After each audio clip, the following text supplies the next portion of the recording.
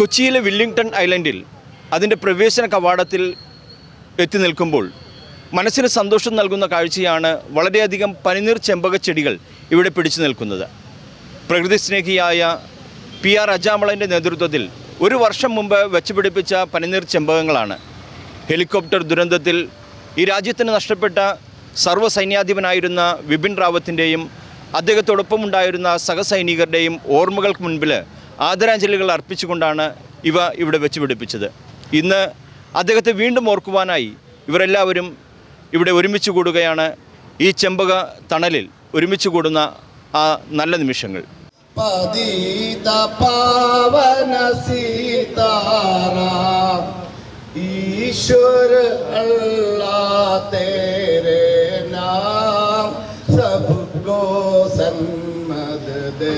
ഭഗവാ ईश्वर अल्लाह तेरे नाम सबको सन्मद दे भगवान ईश्वर अल्लाह तेरे नाम सबको सन्मद दे भगवान ഇവിടെ കൗൺസിലർ പറഞ്ഞ പോലെ സൈനികരെയും അതുപോലെ രാജ്യത്തിന് വേണ്ടി ബലിയർപ്പിച്ചവരെയും അവർ മരിക്കുന്ന അല്ലെങ്കിൽ ജീവത്യാഗം വരിക്കുന്ന ആ ദിവസങ്ങളിൽ പത്രവാർത്ത മുഖേനയും ടി വി വാർത്ത മുഖേനയും നമ്മൾ കാണുമ്പോൾ ഓർക്കുന്നതല്ലാതെ നമ്മുടെ നാട്ടിൽ ഒരു ചടങ്ങോ എല്ലാ വർഷവും അവരെ അനുസ്മരിക്കലോ ഇതൊന്നും പതിവായി നാം കാണാറില്ല. ഏതെങ്കിലും ചെറിയ ആർമി എക്സ് സർവീസ്മെൻ സംഘടനകൾ എന്തെങ്കിലും സംഘടിപ്പിച്ചെങ്കിലായി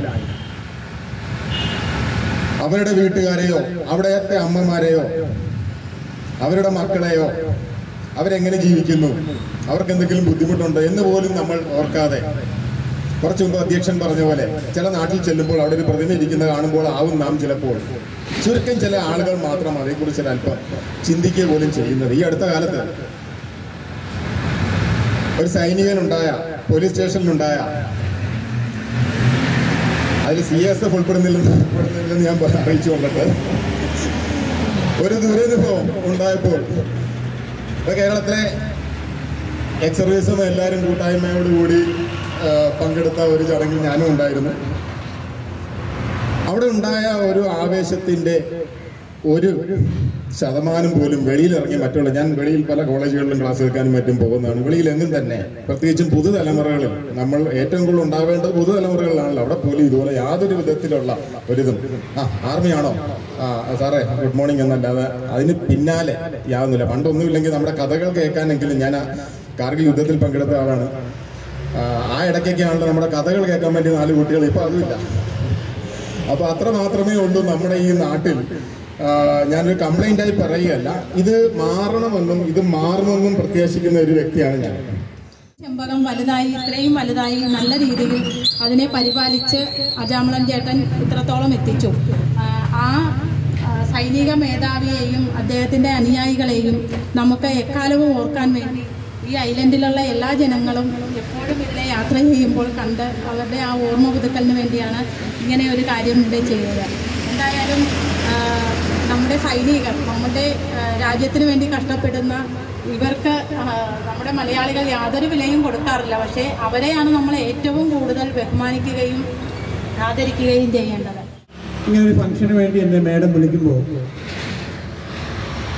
നമ്മുടെ രാജ്യത്തിന്റെ ഫസ്റ്റ് ചീഫ് ഓഫ് ഡിഫൻസ് സ്റ്റാഫായിരുന്ന ബിപിൻ റാവത്ത് സാറിന്റെ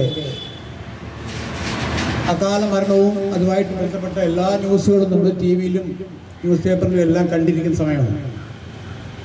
രാജ്യം മൊത്തം ദുഃഖിച്ചിരിക്കുന്ന ആ സമയത്ത് ഇങ്ങനെ നമ്മൾ വിളിച്ച് ഞങ്ങൾ എനിക്ക് തോന്നുന്നു കുറേ ലേഡീസ് ആയിരുന്നു അതിനകത്തുള്ളത്. പിന്നെ ജാമലൻ ചേട്ടൻ അദ്ദേഹമായിരുന്നു ഏറ്റവും കൂടുതൽ മുൻകൈ എടുത്തത് മേഡവും. അപ്പൊ ഞങ്ങളെല്ലാം കൂടെ ചേർന്ന് അവിടെ ഈ മരം ഈ പനിനീർ ചെമ്പകം വയ്ക്കുമ്പോൾ അത് വെക്കുമ്പോഴാണ് എനിക്ക് യഥാർത്ഥത്തിൽ ആ ദുഃഖത്തിൽ പങ്കുചേരാൻ കഴിഞ്ഞതെന്നാണ് ഞാനിപ്പോൾ ഓർക്കുന്നത്. അതിനുശേഷം ഇതിനെപ്പറ്റി ആക്ച്വലി ഞാൻ മറന്നുപോയി അത് കഴിഞ്ഞ് പല പ്രാവശ്യം ഞാൻ ഇതുവഴി കടന്നു പോകുമ്പോൾ ചേട്ടൻ ഇവിടെ നിൽക്കുന്നതും ഇതിനെ പരിപാലിക്കുന്നതും ഞാൻ എന്റെ കണ്ണുകൊണ്ട് കണ്ടു. അതായത് രാജ്യത്തിന് വേണ്ടി നമ്മളൊരു പത്ത് ചെടി വെച്ചു. അത് ബിപിൻ റാവത്ത് സാറിന്റെ പേരിൽ അദ്ദേഹത്തിന്റെ അനുസ്മരണത്തിന് വേണ്ടി നമ്മൾ ചെയ്തു എന്ന് പറയുന്നത് തന്നെ നമ്മൾ ഈ രാജ്യത്തിനോട് കാണിക്കുന്നത് ദേശസ്നേഹത്തിന്റെ ഒരു പ്രതീകമാണ്.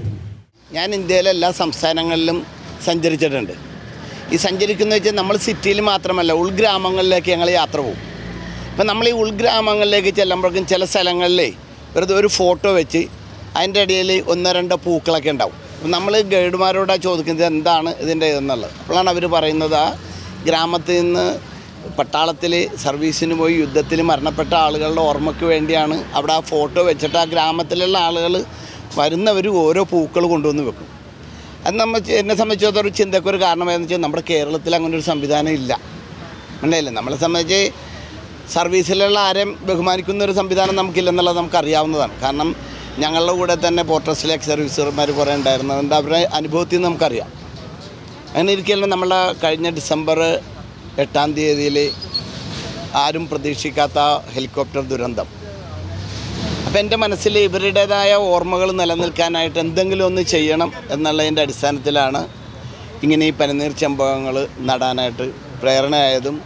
അത് അന്നത്തെ നമ്മുടെ ഐലൻഡിലെ സി എസ് എഫിന്റെ സർക്കിൾ അതുപോലെ ഡിവിഷൻ കൗൺസിലർ പിന്നെ പോർട്ടസിലെ തന്നെ ഞങ്ങളുടെ ഒരു എൻജിനീയർ അജയ്കുമാർ സാറ് പിന്നെ ഈ കോർട്ടേഴ്സിലെ കുറച്ച് വനിതകളെല്ലാം സംഘടിപ്പിച്ചുകൊണ്ട് ഇതങ്ങനെ ചെയ്തത്. അതേതായാലും നട്ട് നനച്ച് ഇത്രയും വരെ എത്തിക്കാൻ കഴിഞ്ഞത് വലിയൊരു ഭാഗ്യം. അതിന്റെ ഓർമ്മയായിട്ടാണ് ഇന്ന് നമ്മൾ ഈ ഒരു പരിപാടി ഇവിടെ അറേഞ്ച് ചെയ്തത്. ഈ പനിനീർ ചെമ്പകങ്ങൾ വിപിൻ റാവത്തിനും അതോടൊപ്പം തന്നെ ആ സഹസൈനികർക്കും നൽകുന്ന ഈ നാടിന്റെ ആദരവാണ് കൊച്ചിയുടെ ഈ കേരളത്തിന്റെ മലയാളിയുടെ ആദരവ്. അതിന് പ്രേരണയായി തീർന്ന ഈ നല്ല മനസ്സുകൾക്ക് ലൈഫ് കൊച്ചിയും അഭിനന്ദനങ്ങൾ രേഖപ്പെടുത്തുകയാണ്. ലൈഫ് കൊച്ചി ന്യൂസിന് വേണ്ടി വെല്ലിംഗ്ടൺ ഐലൻഡിൽ നിന്നും Thank you.